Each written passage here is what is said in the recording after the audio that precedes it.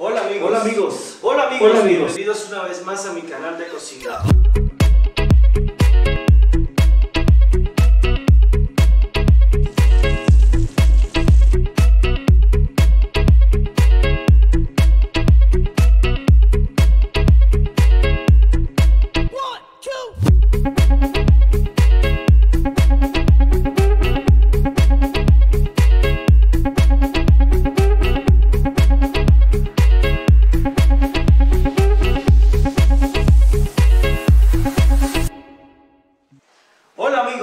Bienvenidos una vez más a nuestro canal de cocina.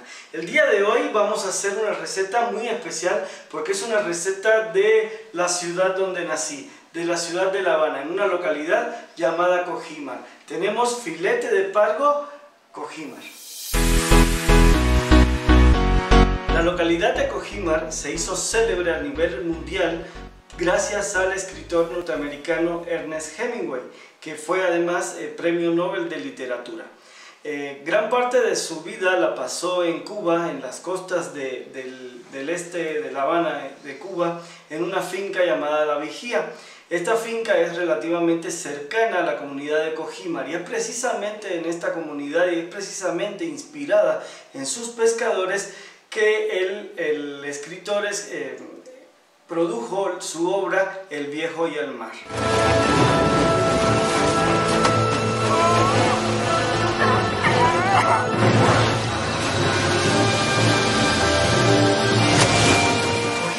Es una localidad eh, habanera ubicada a 7 kilómetros de la capital. Pertenece al municipio eh, Habana del Este y bueno, eh, una de sus actividades fundamentales es precisamente la pesca.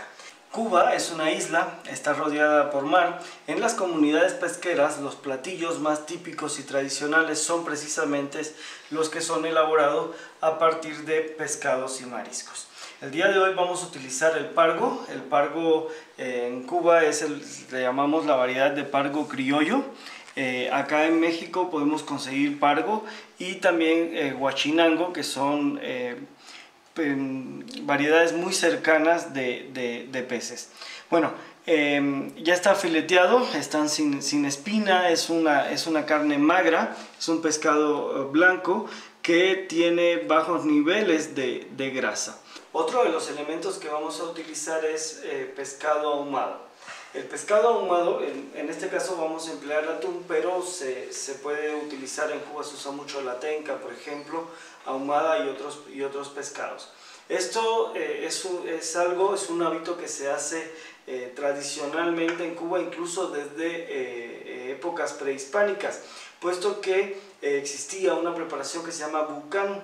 El bucán eh, lo hacían los, los antiguos taínos, eran unos enrejados de, de- de palo, de palo eh, húmedo, de troncos, ramas, de los cuales hacían este enrejado que se le llamaba barbacoa.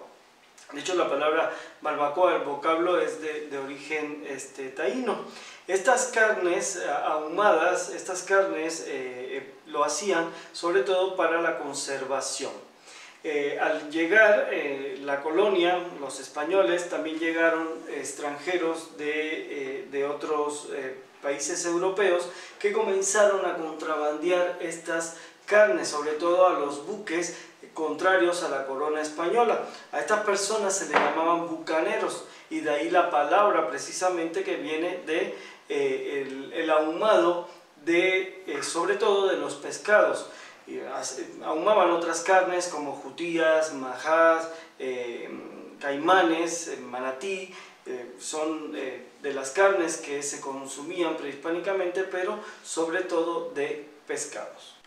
Los mariscos que vamos a emplear para la preparación son mejillones y almejas. Ambos son bivalvos, tienen dos conchas. Y hablando de sus conchas, para cuando vayamos a hacer las compras debemos excepcionarnos que las conchas estén cerradas. Ellas tienen un músculo que hacen que eh, se abran cuando no están frescas. Entonces tenemos que asegurarnos realmente que estén lo más cerradas posible.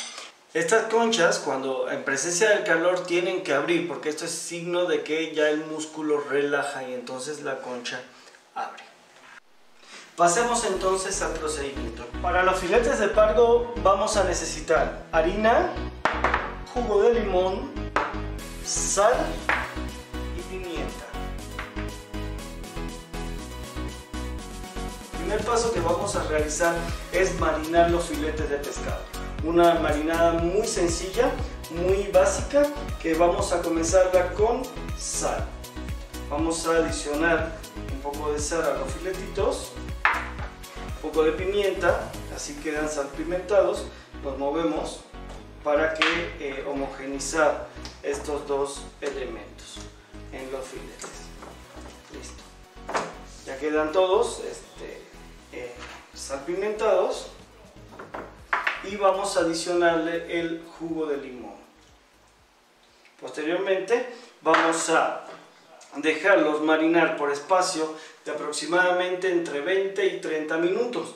Esto es para que el, limón, el ácido vaya actuando en la proteína, la vaya desnaturalizando y se vaya impregnando el sabor. Lo vamos a dejar entonces en el refrigerador, es lo más conveniente. Para una porción de salsa marinera vamos a emplear jugo de limón, vino blanco, tomate bola, pimienta negra, comino molido, pimentón dulce, orégano, laurel, perejil. También vamos a emplear octavos de limón, sal, aceite de oliva, pimiento verde, pimiento rojo, cebolla, ajo, almejas, mejillones y atún ahumado. Prosigamos entonces a elaborar la marinera. Para esto vamos a hacer un sofrito, un sofrito que lo primero que vamos a añadir es el aceite. El aceite vamos a calentar para que esté bien eh, caliente, pero con el aceite. Vamos a comenzar entonces a calentar el aceite.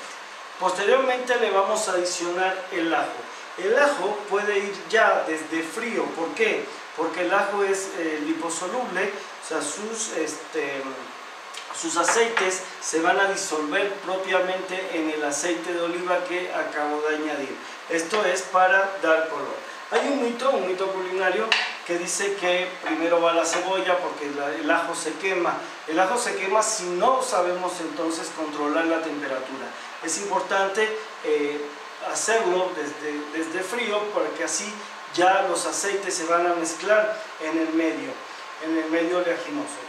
Por supuesto que cuando sabemos que ya está, cuando comience a oler el ajo, cuando él va desprendiendo sus aromas, sus, sustancias sápidas y aromáticas, está listo. Claro, si lo dejamos más tiempo, entonces se quemará. Pero con, este, con, este, con esta técnica, por supuesto que esto no va a suceder. ¿sí? Vamos a comenzar entonces a eh, eh, eh, sofreír. Aquí vemos cómo él comienza a soltar empiezan a haber olores muy tenues para que nos va a decir quién va después. Va precisamente la cebolla. La cebolla va a soltar líquidos que van a ayudarnos a la cocción en la elaboración. Añadimos entonces la cebolla. Vean cómo el ajo para nada se nos quemó y esto hay que tener solamente cuidado y saberlo cocinar. Añadimos la cebolla y la vamos sofriendo. ¿Cuándo vamos a saber que la cebolla está lista? Cuando la cebolla transparente, cuando ya se eh, pase esto, entonces eh, ella va a estar lista para recibir los demás elementos. En este caso voy a adicionar directamente los mariscos. Primero voy a añadir eh, las almejas, ya está trasplantada obviamente la cebolla. Y vamos a eh, cocinar fuertemente. Las almejas se deben lavar muy bien porque muchas veces, bueno, también los mejillones, los bivalvos en general, vean cómo van abriendo, ellas vienen con arena, entonces hay que lavarlas y a veces vienen con algunos elementos en su concha eh, eh, pegados, por lo tanto a veces hay que pasarle incluso un cepillo para irlas eh, limpiando. Añadiremos entonces los mejillones y cocinaremos del mismo modo que las almendras.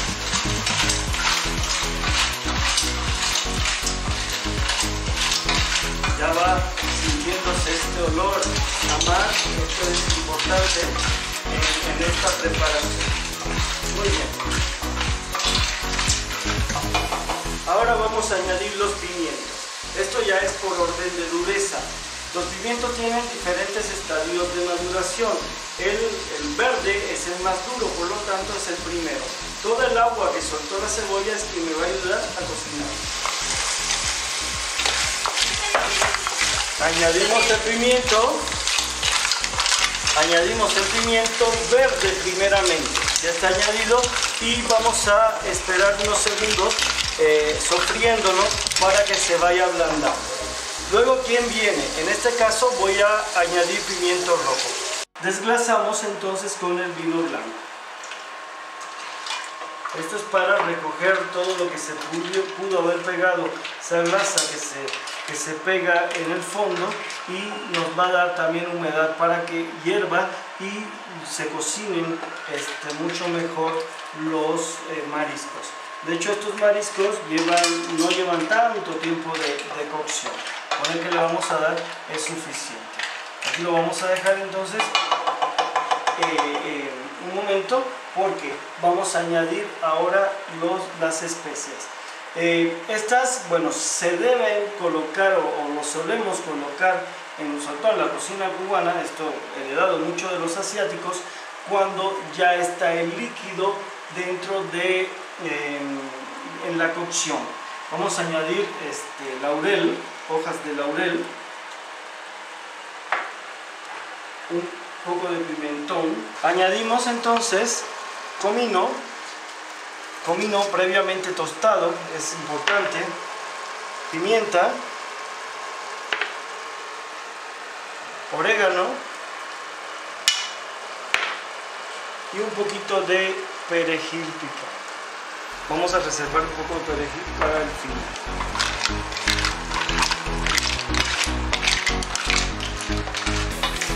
A pesar de que el pescado ahumado ya de por sí tiene algo de sal, sí vamos a colocarle sal. Vamos a puntear un poquito de sal para entonces eh, probar y ver si necesitamos. Y ya tenemos lista la marinera para acompañar los filetes de pescado que vamos a proseguir con su elaboración.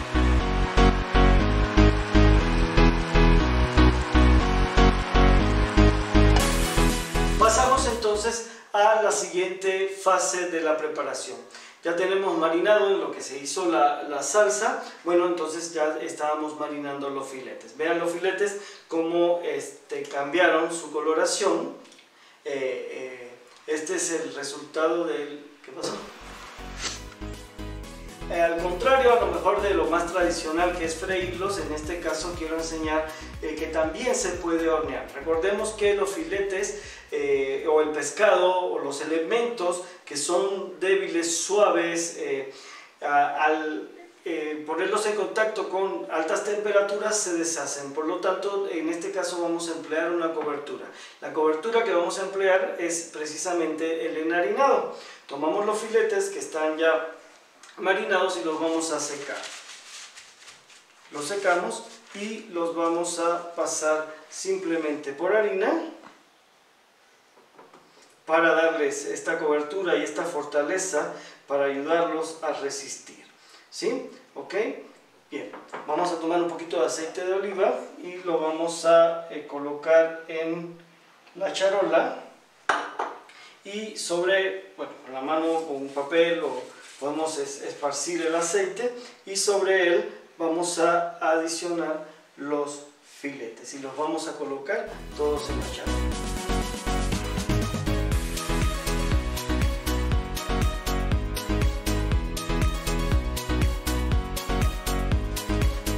Están los filetes en la placa, charola o eh, bandeja de horno y ahora los quiero eh, pintar, eh, abrillantar con aceite para que tengan ese efecto.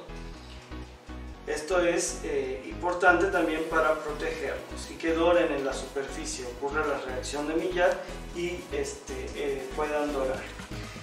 Ya tengo el horno precalentado a 180 grados. Cuando meta los filetes lo voy a bajar a 160 grados por espacio de aproximadamente entre 15 y 20 minutos en este tipo de horno que además tiene un ventilador interno que eh, aumenta o acelera la eh, convección de calor.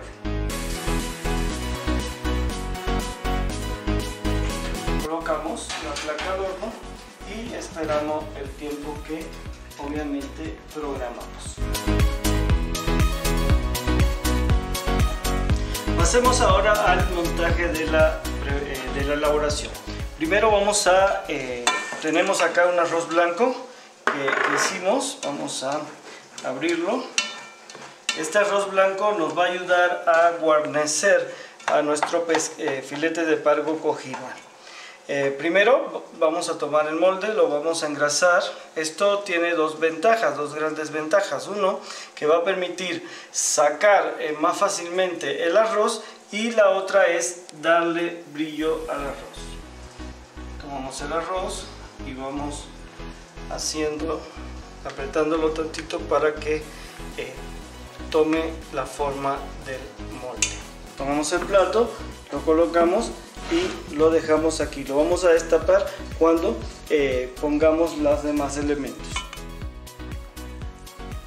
Los filetes ya los sacamos y los vamos a, lo vamos a colocar en el plato.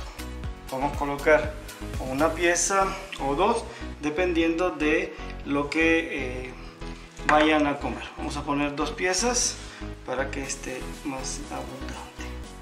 Vamos a tomar la marinera y vamos a todo el sofrito vamos a colocarlo sobre los filetes de pescado.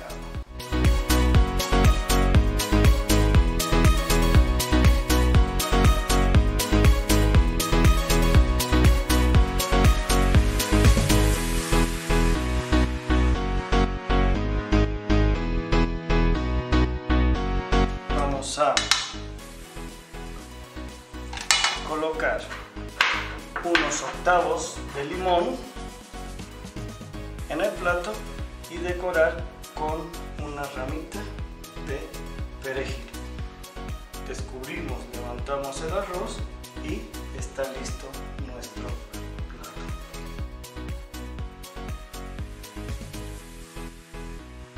Bueno amigos, espero que lo hayan disfrutado este magnífico platillo tanto como yo. Los espero en la próxima.